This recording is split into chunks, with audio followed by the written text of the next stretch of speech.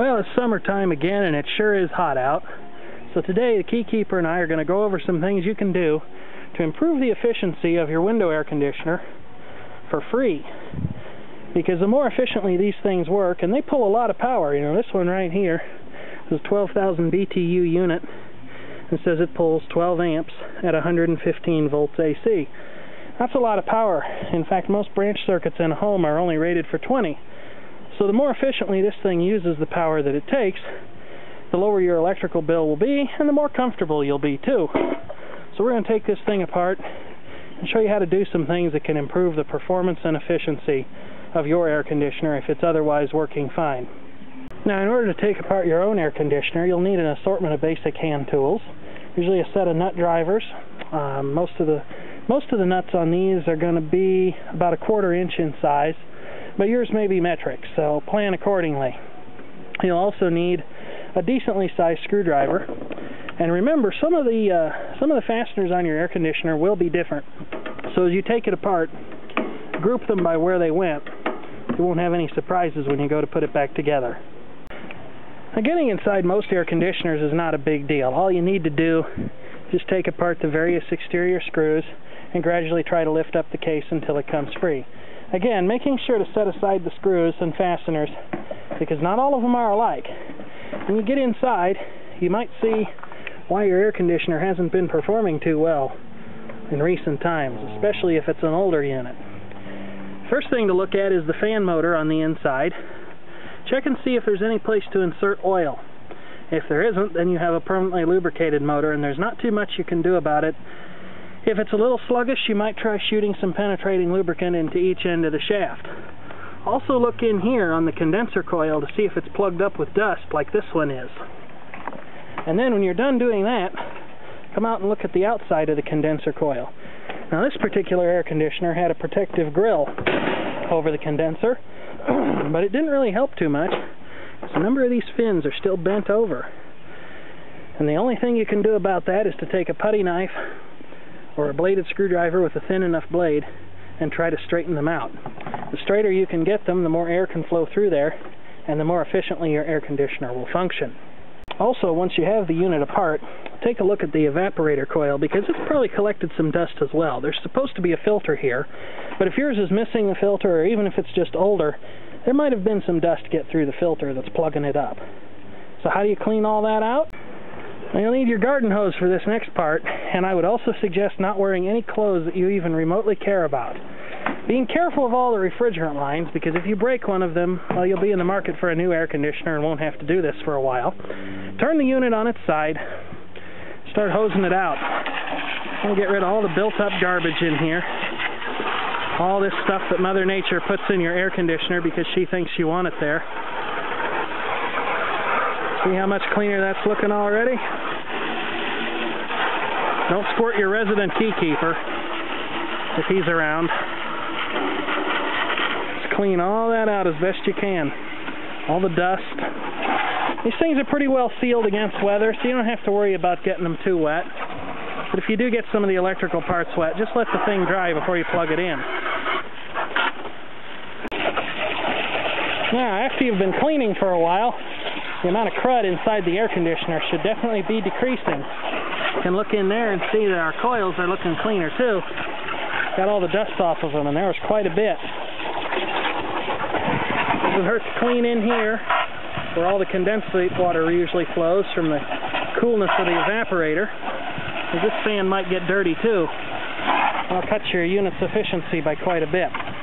So just go over everything with clear, clean fairly high pressure water, but not too high pressure, because you could mash those fins. If your air conditioner is truly nasty enough to need it, a little bit of mild cleaner. Just pour a little bit in there around the various areas of the unit. Just pour some of that in there. You can use, you know, pine cleaner like this, which might have the added benefit of uh, deodorizing your air conditioner if it's stinky or you can just use some kind of dish detergent. You don't want to use anything particularly abrasive when you're working on the unit. No fuming sulfuric acid or benzene or paint thinner or any of that stuff. And then just go over parts of it with a scrub brush.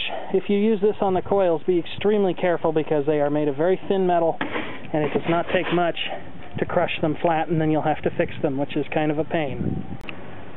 Now, when you think you've got it clean enough, it's time for that dreaded part. Straightening out these bent fins. As you can see, this unit has quite a few of them. This is why anybody who's planning on vandalizing an air conditioner on a building with exposed fins should not do it because the people who fix them they want to hurt you. anyway, the idea is that you just start where the pins, where the fins, I'm sorry, start to bend over. And you just very, very gently, delicately straighten them out so they're kind of standing back up. I doubt very much that you can get them to look like they did from the factory.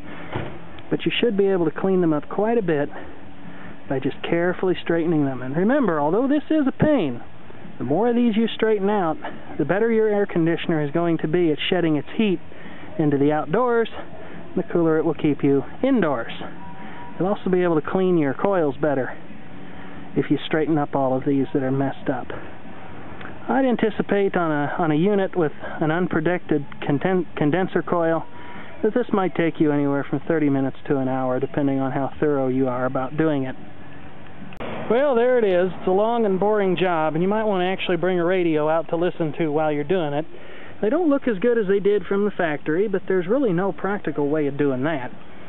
Anyway, you might want to bring a radio out with you, and the neighbors have got one playing right now. It's got the most appropriate song I can think of. Never heard it before, but it's got a line in it that goes, it's 110 degrees in the shade. Perfect song for working on air conditioners. Makes you want to get it done and back in the window. You can see it's much, much cleaner inside here now, which is important because as this unit sweats off the evaporator coil, it's going to fill up with water here in the bottom, and this is going to do a couple of things. First of all, it's going to help the unit shed heat. As you can see, there's a set of uh, refrigerant lines running along the bottom there that got soaked underwater. It also helps keep the compressor cool, which is very important. Anyway, after you're done cleaning, it's time to look at the electrical aspects of the unit. Take a look at the plug on it. If you look at the plug on your unit, the terminals should look just like this. They should be shiny and either silver or copper colored. If they're if they're dark, that means they're oxidized, and oxidation happens on high energy electrical circuits, and it robs you of power transfer from one circuit to another.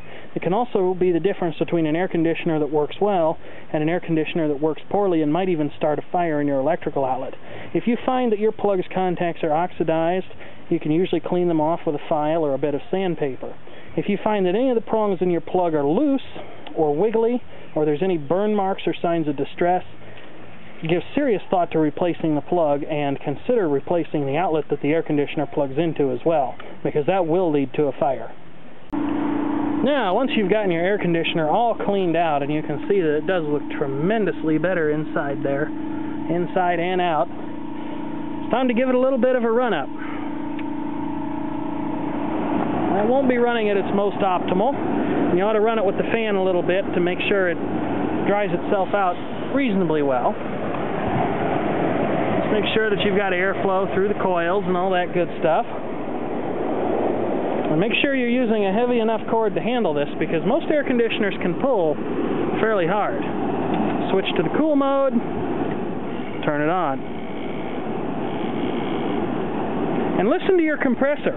The sounds a compressor makes indicate how healthy it is. Your compressor should just make a smooth, even running noise. Anything that sounds harshly metallic or anything else is an indication of trouble. Definitely don't forget to clean out the inner shell as well because dust and dirt can build up in here and that will also really kill your efficiency. So take your scrub brush and your detergent and your hose nozzle and get to it.